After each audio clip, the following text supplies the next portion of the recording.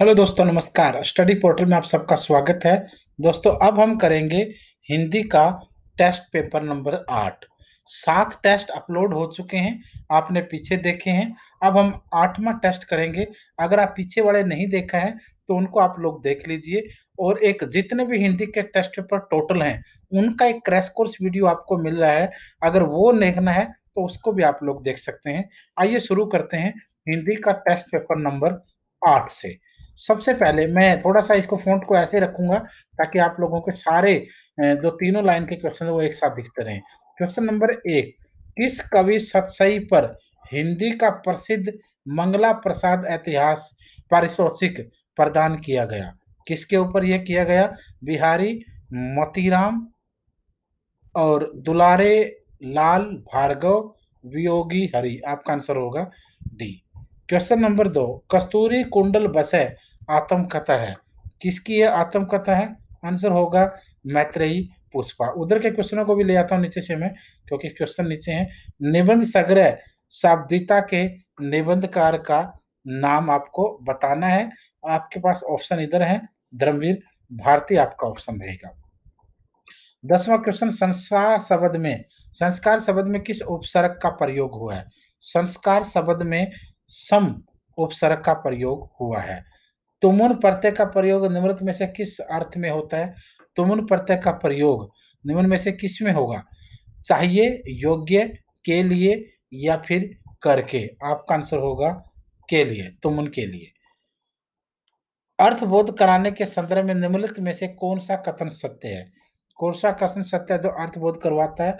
लक्षणा एवं व्यंजना दोनों सब शक्तियाँ अभिधा पर आश्रित होती हैं। मन की उत्पत वेदना मन ही मन में बहती, चुप रहकर अंतर मन में कुछ मौन व्यथा कहती। दुर्गम पथ पर चलने का वो संबल छूट गया था, अविचल अविकल वह प्राणी भीतर से टूट गया था।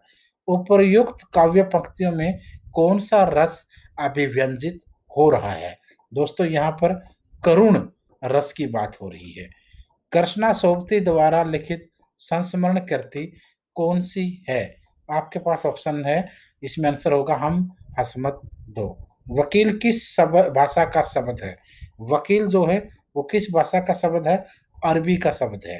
क्वेश्चन नंबर पाँच। वह सत्री जिसका पति प्रदेश से आने वाला हो के लिए एक शब्द आपको यहाँ पर बताना है।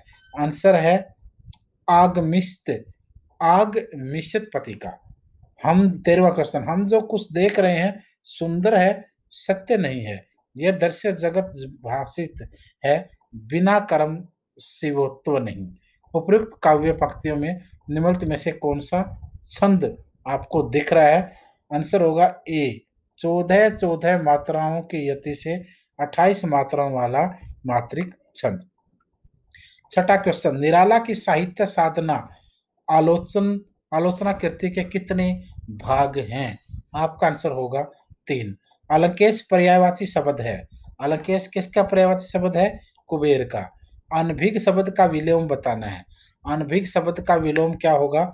अभिग होगा। निम्नलिखित में से भाषा की प्रमुख कृति कौन सी है? सरलता से कलिष्ठता की ओर, या फिर जटिलता से सरलता की ओर? ये आंसर हो जाएगा। निम्नलिखित में से कौन कवि कालिदास से पूर्ववर्ती है? भारवी, भास, दंडी या भवभूति आपका आंसर होगा यहाँ पर भास बी। फिर आगे बढ़ते हैं। क्वेश्चन नंबर उन्नीस। निम्नलिखित में से कौन सी रचना लघुत्री में नहीं आती है? कौन सी रचना जो है, वो लघुत्री में नहीं आती है? आंसर होगा ऋतु संहार। चरणदास चोर किसकी नाट्य कृति है? चरणदास चोर जो है, चरणदास चोर किसकी नाट्य करती है? आंसर होगा हबीब तनवीर। इधर वाले क्वेश्चनों को एक बार देख लाता हूँ मैं। ताकि आपके लिए सब साथ एक बार लेके चल सकें। काव्य, काव्यादर्श के रचनाकार निम्नलिखित में से कौन है? काव्यादर्श के रचनाकार निम्नलिखित में से कौन है? आपका आंसर होगा यहाँ पर दंडी। इधर वाला क्वेश्चन भी एक बार देख लेते हैं। इसका क्वेश्चन क्या होने वाला है? एक बार ले आता हूँ। राजशेखर की रचना, रचनाओं, निम्नलिखित रचनाओं में से कौन सी रचना अधूरी है? राजशेखर की कौन सी रचना इनमें से अधूरी है? तो देखते हैं। बाल रामायण अधूरी है, काम्य मीमांसा, कर्पूर कर्पूर मंजरी या बाल भारत। आपका आंसर होगा डी, बाल भारत। निम्नलिखित में से कौन कवि अर्थ गौरव के लिए प्रसिद्ध है? अर्थ गौरव के लिए प्रसिद्ध कवि भारवी होगा। अंगिका किस राज्य की बोली है? अंगिका दोस्तों, बिहार की बोली है। हिंदी भाषा में वचन कितने प्रकार के होते हैं? हिंदी भाषा में जो वचन होते हैं वो दो प्रकार के होते हैं, एक वचन और बहुवचन। लिंग की दृष्टि से दही क्या है? लिंग की दृष्टि से दही स्त्रीलिंग है, दही पुलिंग है, नपुंसक लिंग है या उभय लिंग है, आंसर होगा दही जो है वो पुलिंग में आता है। निमृत में से कौन सा शब्द अशुद्ध है? निमृत में से कौन सा शब्द अशुद्ध है? आपका आंसर है यहाँ पर अभिग, भिग, ये अशुद्ध। इधर देखिए, इक्कीसवा क्वेश्चन जब द्रास बटालिक टाइगर हिल की सीमा लगी गरजने, जब शहादत लेते हिमगिरी की चट्टाने लगे गरजने, तब जाग उठे ये शेर बब्बर पोरुष हुंकार उठा था। मातृभूमि की बलि देवी पर लहू पुकार उठा था।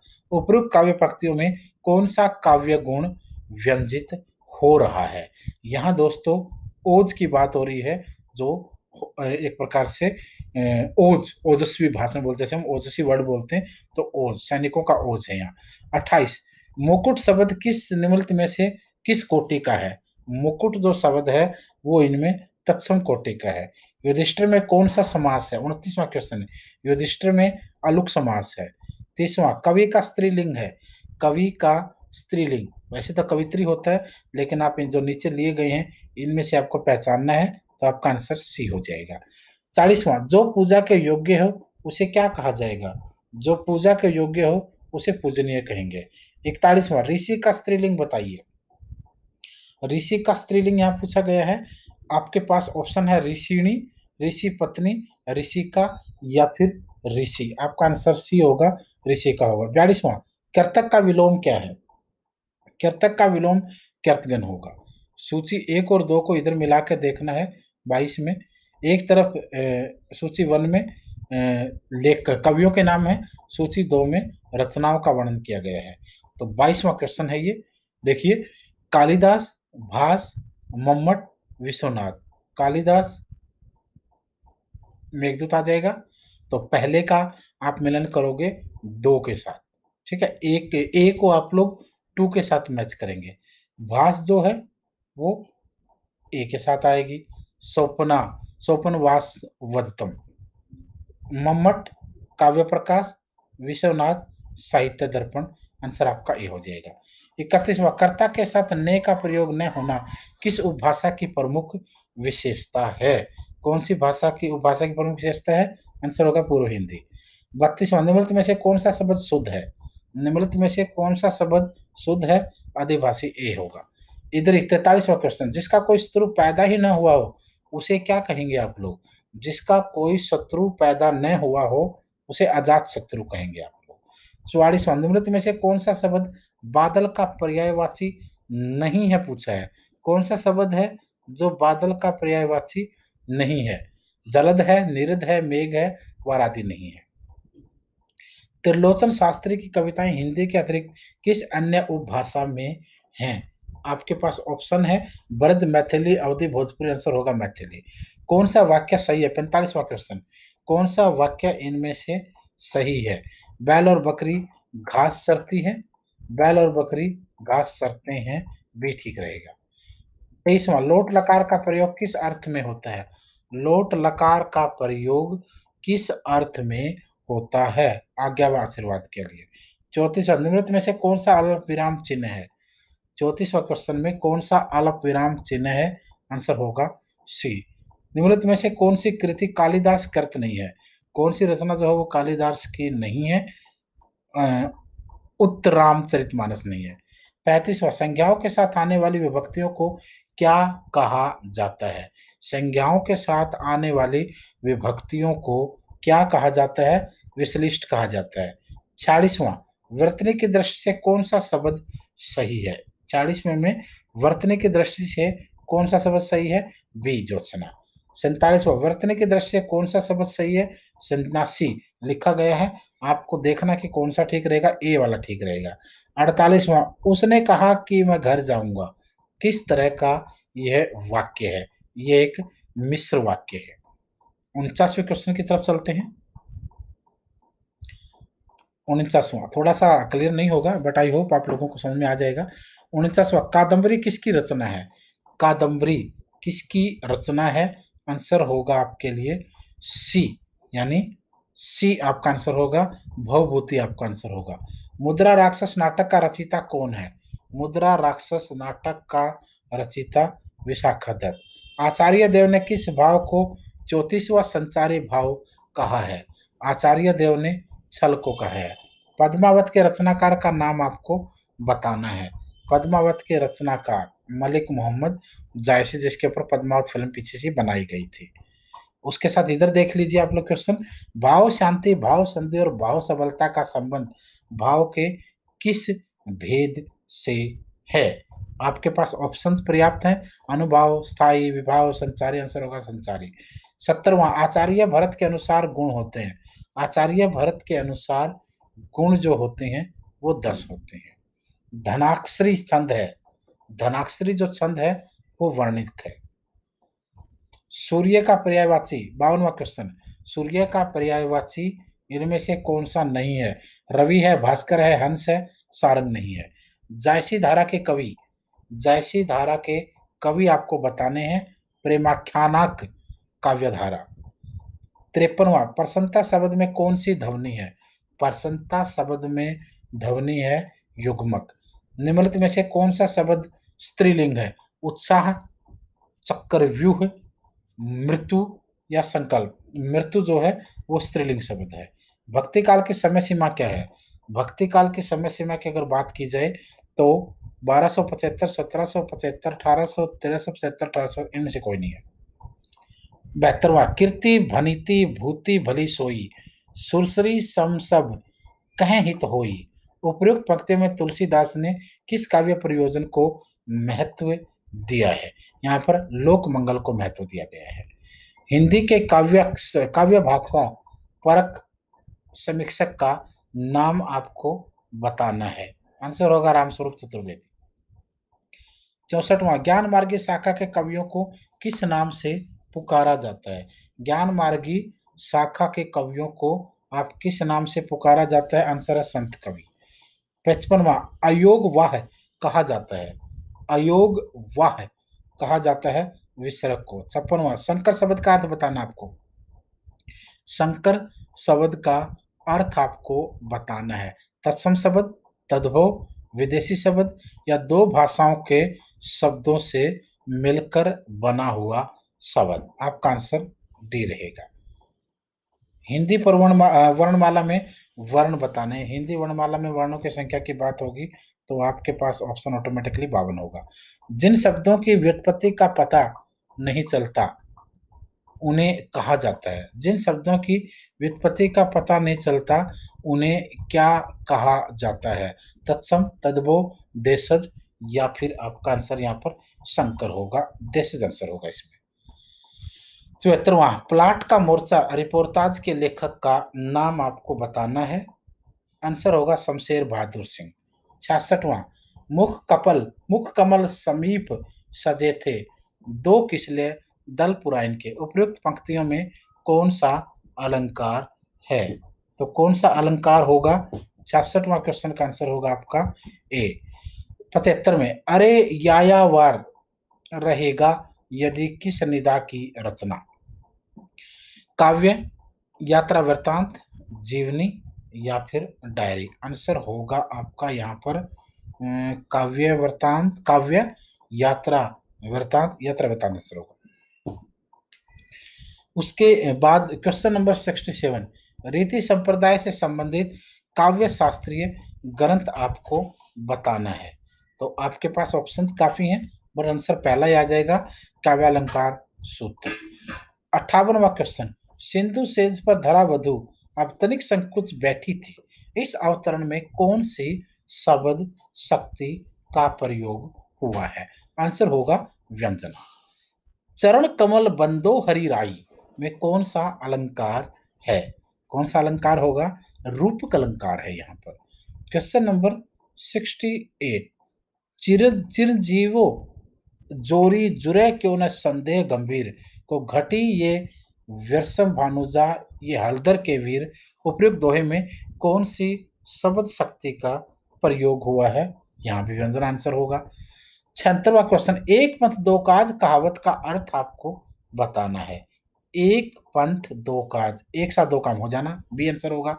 सतरवा दोनों हाथ में लड्डू मुहावरे का अर्थ आपको यहाँ पर बताना है। किसी भोज में शरीक, दोनों हाथों में लड्डू, दो तरफा लाभ। एक दोनों हाथ में लड्डू, यानी दोनों तरफ़ लाभ समानांतर शब्द का संधि विच्छेद बताइए, अठहत्तरवा क्वेश्चन समानांतर शब्द का संधि विच्छेद समान प्लस अंतर। फिर चलते क्वेश्चन नंबर सेवेंटी नाइन की तरफ़। यस सेवेंटी नाइन उनचास में प्रयुक्त उपसर्ग बताइए। उनचास में प्रयुक्त उपसर्ग बताना है। आपका आंसर आपका जो आंसर होगा, वो आपका ए रहेगा। और अस्सी। सीमा पार खालिस्तान तैनात है। सीमा पार सेना तैनात है। इज़्ज़त उतारना। व्यर्थ बकवास करना, अपमानित करना तो ऑटोमेटिकली आपका आंसर जो है, अपमानित करना हो जाएगा।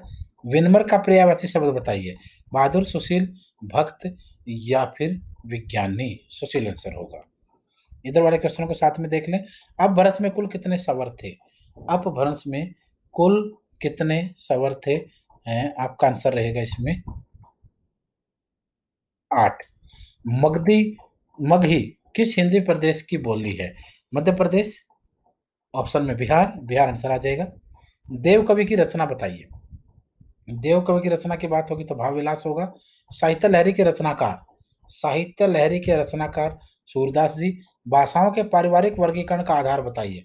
भाषाओं के पारिवारिक वर्गीकरण का आधार है इतिहास। अष्टछाप की स्थापना किसने की?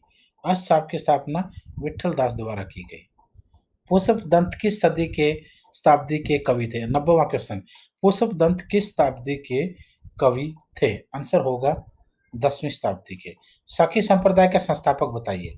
सखी संप्रदाय के संस्थापक स्वामी हरिदास। 83 अंधे की लकड़ी का अर्थ बताइए। अंधे की लकड़ी यानी एकमात्र सहारा, उसे बोलते हैं ना कि बूढ़ी माँ का राम, बूढ़ी माँ की अंधे की लकड़ी था एकमात्र सहारा, जिसके पास और कोई ऑल्टरनेटिव ऑप्शन ना हो। दोहा कोष किसकी रचना है? 91 दोहा कोष किसकी रचना है? आंसर होगा सरप्पा। 98 गोस्वामी तुलसीदास की अंतिम रचना कौन सी है? तुलसीदास जी की अंतिम रचना हनुमान बाहु। 84 वृक्षों को बड़े समूह को कहते हैं। वृक्षों के बड़े समूह को क्या नाम दिया जाता है? आपके पास ऑप्शन है, अकरी, अगार, अंबार, अन, वन वन आएगा आंसर ब्रज भाषा का विकास किससे हुआ? ब्रज भाषा का विकास दोस्तों शोर सैनी से हुआ। काव्य की रीति सीखी, सुखबिन सो देखूँ, देखी सुनी बहुल बहुलोक की बातें। इस काव्योक्ति के कवि का नाम बताइए, भिखारीदास। 99 मृगावती किसकी रचना है? मृगावती दोस्तों कुतुबन की रचना है। शेष कादम्बरी उपन्यास की लेखिका का नाम बताइए। आंसर होगा अलका सरा सरावंगी। तो इस टेस्ट में यही थे। ये आपका टेस्ट नंबर आठ था। टेस्ट नंबर नौ हम लोग नेक्स्ट में